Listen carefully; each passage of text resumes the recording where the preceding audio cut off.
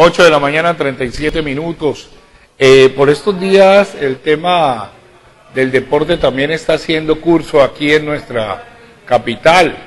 Eh, ha venido, han venido pues algunos personajes, ya lo había hecho en días pasados Hamilton Ricard, para ir buscando canchas y ir, trabajando el tema de la América.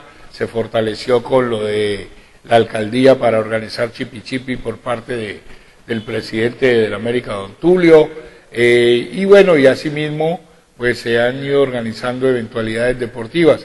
Como ustedes pueden ver en la imagen, está Bonner Mosquera, aquel jugador del equipo de los Millonarios, eh, hace unos años atrás, pues que también andan eh, en el tema de ir buscando talentos, jóvenes talentosos que, que quieran pues pertenecer a las diferentes escuelas de, formación deportivas y sobre todo eh, en el futuro del fútbol que le ha arreglado la situación económica a muchas familias, porque ya que muchos jugadores pues están en algunos clubes importantes del mundo y en los mismos clubes colombianos, pues le da la facilidad que muchos padres de familia hoy estén cómodamente por la gestión que ellos hacen, por el trabajo que ellos hacen, y eso es lo que pues estos señores que han estado en el fútbol, que el fútbol les dio todo, pues eh, están, eh, recorren el país buscando ese talento y esta vez le ha tocado a Quito. Pues escuchemos lo que ha dicho Wagner Mosquera en su visita aquí a nuestra eh, ciudad capital. Bueno, primero muchas gracias por la invitación. Em, sí, la Fundación Selección Colombia quiso a través de Bavaria hacer unas, un, proyecto que se denomina Fútbol por la Paz. Hay una cantidad de organizaciones que están desarrollando en diferentes partes de Colombia eh, este, este proyecto y es simplemente traer una metodología para el aprovechamiento del tiempo libre de los niños y para la sana competencia y sobre todo la sana convivencia, que es lo más importante, generar eh, aspectos importantes que permitan que los niños eh, sean unos mejores seres humanos, por ende, unos mejores deportistas. ¿Cómo se va a ejecutar este proyecto?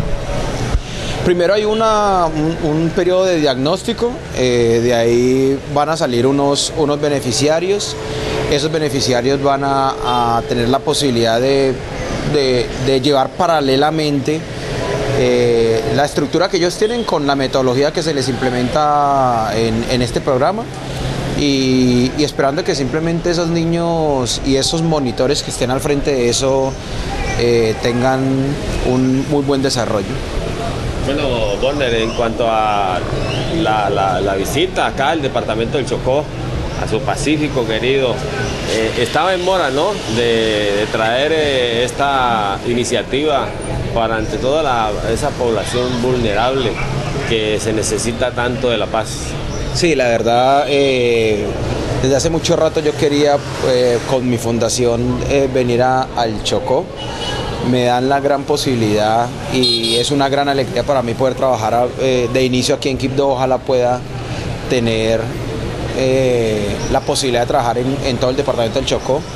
Eh, porque a pesar de que yo fui criado en Bogotá, siempre, siempre he tenido en mi corazón mi, departamento y, esperemos que, que, esto salga bien. De acuerdo a lo que salga este primer piloto, pues seguramente vamos a tener eh, más opciones para seguir trabajando acá en el Chocó. ¿A quién va dirigido exactamente pues este proyecto? A los niños, a los niños. La idea es tener 500 niños de las diferentes escuelas deportivas que sean beneficiarios de este proyecto, sobre todo entre 6 y 14 años más o menos. Bueno, Bonner, para la iniciación de este trabajo, ¿cómo se va a hacer, cuál va a ser la metodología precisamente que van a emplear para transmitírsela a, los monitores y se inicie cuanto antes pues, el trabajo en beneficio de cada una de las escuelas de formación? Sí, nosotros, eh, como, como les dije ahorita, nosotros hicimos primero, vamos a hacer una, un tiempo de diagnóstico de ahí ya elegiremos cuáles son los beneficiarios y este piloto tiene más o menos de duración un año. En ese año tenemos que transferir la metodología. Esa metodología ojalá vaya paralela a lo que los profesores hacen y es simplemente como les digo, formar unos, unos muy buenos deportistas que vienen por añadidura, primero siendo unas grandes personas. Bonner, un mensaje para la comunidad quibdoseña, para esos jóvenes que les gusta el deporte. No, que sigan en lo mismo, que ojalá, eh, que ojalá se peguen a las actividades deportivas, a las actividades culturales, que es el mejor camino para uno ser eh, productivo en la vida. O sea, la única manera de que uno salga adelante es trabajando, eh, cumpliendo los sueños, los objetivos que desde pequeño se trazan. Ahí estaba pues Bonner Mosquera hablando de, de, este proyecto. Ellos hace rato vienen en este, en este tema proyectando el tema deportivo para las diferentes eh, los diferentes equipos de fútbol que ellos manejan en el país.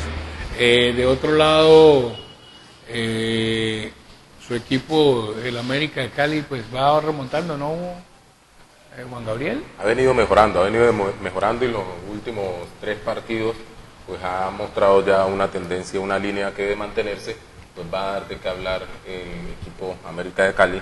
Esperemos que continúe en esa posición en la que eh, alcanzado en los últimos partidos y que podamos tener por lo menos una final en donde el América esté allí presente. Sí, señor. Esperemos pues que, el América pueda salir de del fondo para que vaya avanzando. Mire, eh, de otro lado el baloncesto profesional que comenzó ahorita este fin de mes, pues eh, fue aplazado para comenzar en inicios en el mes de mayo.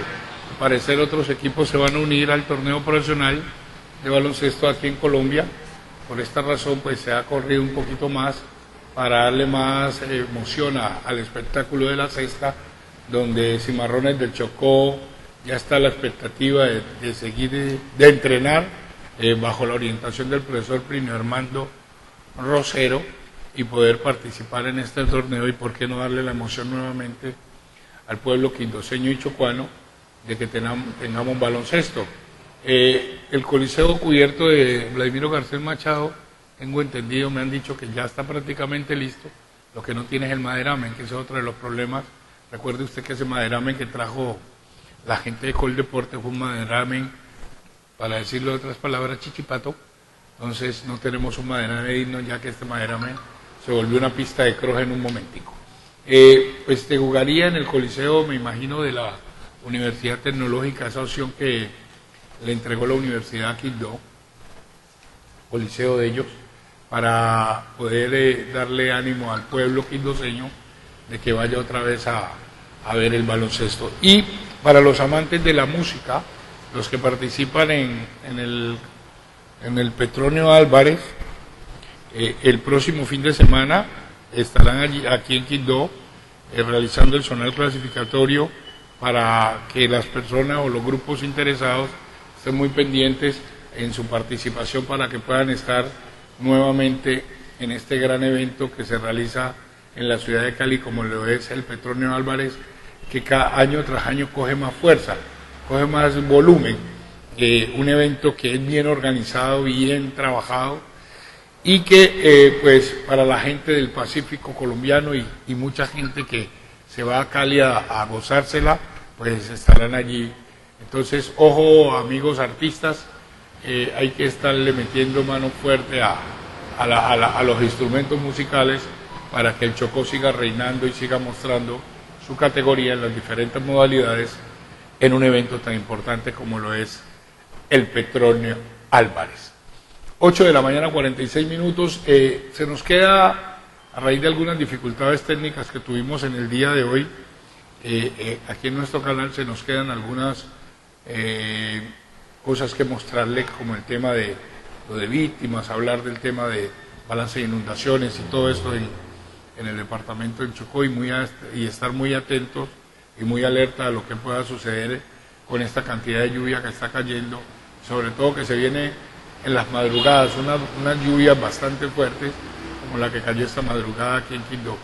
Para mañana le vamos a tratar de, de tener a todos los televidentes este, estas noticias y poder eh, eh, recorrer también la geografía aquí en nuestro departamento, conociendo hechos que se hayan presentado en otros municipios como siempre eh, tratamos de hacerlo.